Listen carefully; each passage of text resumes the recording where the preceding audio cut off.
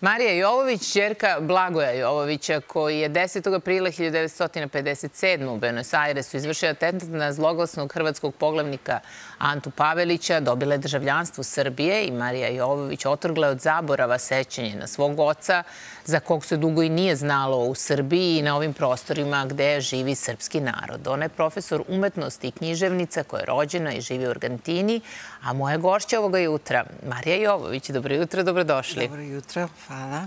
Prošle nedelje ste dobili srpsko državljanstvo. Nikola Selaković eh, vam je uručio. Kako se osjećate tim povodom? Pa bio je divno. Ja sam donesila u utorak, dao je ministar, a taj dan ja sam putovala. Znam i dogovarali smo se za gostovanje, ali tada ste išli i u Istočno Sarajevo i u Han Pjesak. I gde ste sve bili i kako je prihvaćena knjiga koju ste u stvari promovisali? Prvi put sam imala državljanstvo, srpske državljanstvo. Mhm. Da, da, da. Ja sam puno putovala, a sad putujem i imam srpske državljanstvo. Baš mi je drago. Da. da. E, je li to poseban neki osjećaj? Vi osjećate godinama tu jaku vezu sa Srbijom i pripadnost srpskom narodu. Rođeni ste, odrasli, da. živite u Buenos da, Airesu. Pa puno, puno, kako da ne. Ja živim u Argentini, ali otac je bio odavde onda. Mhm. Kako da ne, veliki veliki Servin, veliki heroj, kako da ne. Mhm. Mi svi, cijela familija sjećamo otac i baš mi je drago da budem ovdje. Mhm. E, dobili ste državljanstvo uz rečenicu Dobrodošli kući. Ta rečenica mnogo znači. Da, da, da. Mhm. Da, da. E, hajde da se vratimo na početak priče. Blagoje Jovović, srpski heroj u Vučijoj jazbini. E, priča koju i vi saznajete pod Ostrogom. Koje godine? 98. Ovo je bio decembar. 98. godine se desila neka prekretnica u životu vašeg oca, Blagoja Jovovića, koji je rešio da podeli i sa svojom porodicom istinu i čitavu priču, a da. kasnije i sa srpskim narodom. I sa njegov, e, njegova žena isto. Uh mhm. -huh. I ona je čula sa prvi put. E, supruga, Moja majka. Jel da? Tada Tako. je čula prvi put. Sa prvi put. E, šta se desilo pod Ostrogom? Pa mi smo bili u Ostrog 15, eh, oko 15 decembar 98. A pa ništa, eh, on je eh, stigao posle 55 godine. Pa mi smo bili zajedno u Ostrog, a on je sam pričao oko sad vremena sa mitropolitom Amfilohije a mi nismo znali šta on radi. I vi ste se pitali gdje je? Gdje, je, mhm. gdje je tat. A posle to mi smo imali e, ručak blizu Ostrog, a on je pričao sa prvi put e, cijela istorija. Šta je bilo, šta se desilo. Da se vratimo... U 57. E, da se vratimo u 1957. godinu i da ispričamo šta je bilo. Bilo je samo pet ljudi koji su znali za ovaj atentat. Jedna gospođa koja je u 94. godini e, dala ispovest koja je bila jedan od organizatora atentata je rekla da je to zbog patriotizma, to su bili patriotski prvenstveno motivi, jer gledajući njega kako se šeta Buenos Airesom sa svojom da, nekom... E, Ustaškom gardom. Tako je rekla Mileva. Mhm, tako, je Mileva rekla i kaže on koji je odgovoran za stotine hiljada ubijenih, mučenih ljudi, živi takvim lagodnim životom, oni su osjetili potrebu da nešto urade. Šta su uradili njih petoro? E, ja, ja ću da kažem kad, e, kad ljudi, kad neka ljudi kaže da on je bio agent UTVA.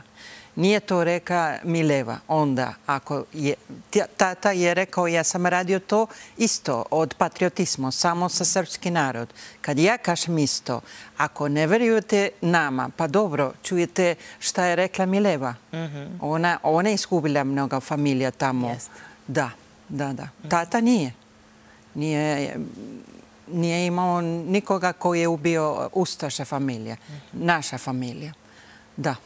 I ona je u svojoj 94. godini rešila da otvori dušu, da, da ispriča sve kako je bilo. Da, da, da. Kako izgleda taj trenutak pod ostrogom kada vi saznajete I kada upoznajete oca iz nekog potpuno drugog ugla, kažete i vaša majka, vi imate i sestre. Da, i, i brat, da.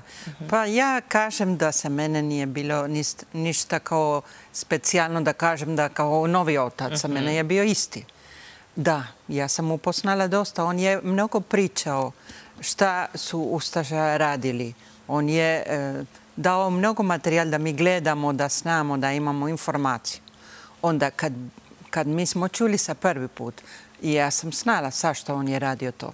Mhm. Sigurno je bio veliki patriota, kako da ne. Da. Mhm.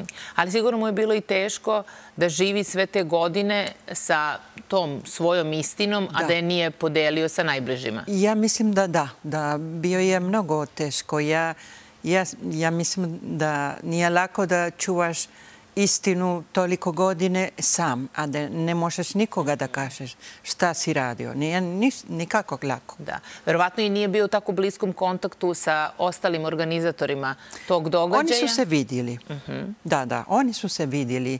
Ponekad, mi nismo živjeli u Buenos Aires, mhm. ali oni su se vidjeli u crkvu ponekad, ali niko nije pričao.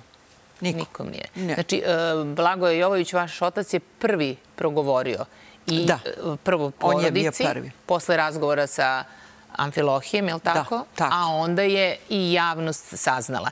Do tada se mnogo znalo o Anti Paveliću, od toga da je bilo u logorima za obuku u Italiji, do toga da je bio poglavnik NDH, do toga da je pobegao, je li tako, u Argentinu, potom sahranjen u Španiji i mnogo informacija o njemu za sva zlodela koja su urađena, ali nije se znalo, tako reći, ništa o, o Blagoju Jovoviću. Ne, ne, ne, ne. Oni su čuvali dobro tajnu, kao treba, da, mhm. da. A oni nisu radili e, taj čini da, da se priča od, mhm. od njega. Ne, Kako ste vi svog oca predstavili u knjizi? Šta vam je bilo važno da ovde napišete? Ja sam htjela da, da pišem ovaj prvi deo. Prvo da se zna ko je bio Blagojević. Mhm. Kako biste rekli, niko nije imao informaciju.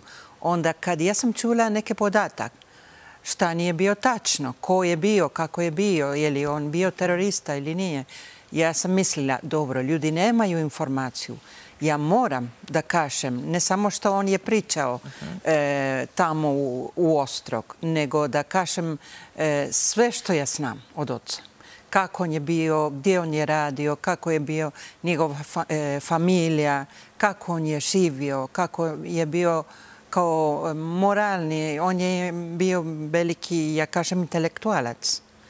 E, on je bio veliki zavetnik. On je uvijek, e, kako da kažem, on je čuvao nama puno. On je, on je mislio da mi budemo najbolje što možemo. Mhm. Da.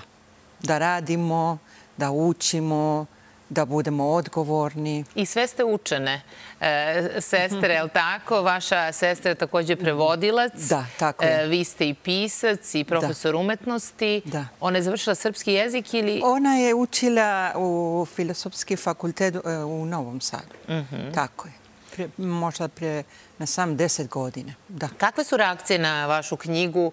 E, evo, kažete i sami, dosta ste putovali i ovih dana i na promociji. Pretpostavljam da ljudi imaju pitanja, da poželi da razgovaraju sa vama. Da, baš je lepo, baš je interesantno.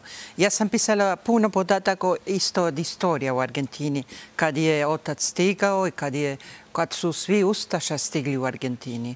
A ja stalno pričam taj, e, o taj tema kad budem u promociju e, u Crnoj Gori, u Republika Srpska, ovdje. A ljudi su mnogo kulturni, hoće mnogo da pitaju, hoće da pričaju. Baš je interesantno. Da. I svi imaju nešto da kaže oko Jasenovac neke koji je bio ubijen u, u, u Jasenovcu ili u drugi mjesto, da, da. u NDH. Mnogi imaju pretke koji su da, na takav da, način da, e, završili. Ali posle svega što se dogodilo, vaš otac je prvo otišao na brod, ili tako? Da. Pa je onda gde sve živeo, menjao je poslove, imao je svoju fabriku i niko nije posumnjao da je on odgovoran za, za sve što se desilo. Ne, ne, ne, ne. On je, da, on je stigao u Argentini u septembru 1947. Uh -huh. A pa da, kao svaki imigrant, e, kao svaki dobri imigranti, ne kao Ustaša, on je korak po korak radio puno, puno posla. Uh -huh. On je živio u grad Mar del Plata, ovo je grad na moru, e, provincija Buenos Aires, a tamo je imao prvo neki mali restoran, posle je imao svoj hotel, a kad je znao gdje je živio Ante Pavlić, bez problema, okoline Buenos Aires, u Jardín Lomas del Palomar, uh -huh. on je pustio, on je prodao svoj deo ho od hotel, a on je imao pred dobar posla, sve je pustio da naše gdje živi i šta radi Ante Pavlić. Kažete za svog oca da je bio dobri migrant koji je bio da. tamo, ali Argentina je bila i utočište za ove druge. Fašista. Jel tako? Pa tako je. Ne Dobro, može da se priča e, drugi. Mnogi da. nacistički zločinci pa da. E, su bili tamo. Zašto je... Puno. E, I, I kažete u svojoj knjizi takođe da su da. mnoge obaveštene službe znale za sve to, ali da, da je to bila da, negde da, da. javna tajna. Da, da. Ka, jeste pa doznali Peron... kako je sve to funkcionisalo? Pa ne može da se razumije, ali tako je. Peron je preko Vatikanski kanal uh mhm. -huh. otvorio vrata da ne samo nasista i puno ustaža i poglavnik i mm -hmm. puno su stigli u Argentini, puno ljudi bez problema, a puno su uh, živjeli u Jardín Lomas del Palomar i drugi mjesto, Kordova, Bariloche. Ja kažem da u Bariloche je grad e, na brdo, baš lep grad. Imamo jedan tur dan danas, zove se Bariloche Nasi. Ovo priča puno od šta se desilo u Argentini. I za kraj mi e, recite, s obzirom na to da u knjizi pominjate da je bilo mnogo neistina u vezi sa vašim ocem, da. mnogo dezinformacija, da ste vi da. rešili zbog toga da ispričate istinu koju vi znate i vaša e, porodica. Ko je plasirao te neistine? Tako je. Ovo je bio motiv da ja sam htjela da pišem. Mhm. Samo to je bio motiv da ne volim da se priča što nije istina. A zašto ne znam? Neko priča da je bio terorista, neko da je bio agent udva, neko da je bio plaćeni ubica. Ja kažem da ja nemam problema sa ko je rekao da je terorista, ne samo jedan osobe. Ja mislim da ja imam problem sa ta ideologija. Ko neće da se sna, a treba da se priča kad se sna. Onda problema je kad je neka fasista ideologija onda eh, on je puno radio sa svoj eh, narod. Ovo eh, što ja hoću da kažem. Nije imao neke svoj interes. Zato što je čutio toliko godine. Mm -hmm. Da. E, mnogo hvala što ste ovu priču podelili sa gledalcima jutra na prvoj. Hvala e, vam. Došli ste u Srbiju iz Argentine, misleći možda ćete kraće ostati, ali evo, tako reći, godinu dana ste ovde. još, jer treba da savršim drugi deo, da, da, ne, što je najbašnije je, jer je oko atentat. Dobro. Da, hvala. hvala vam najlepše, Marija, na gostovanju. Hvala vam.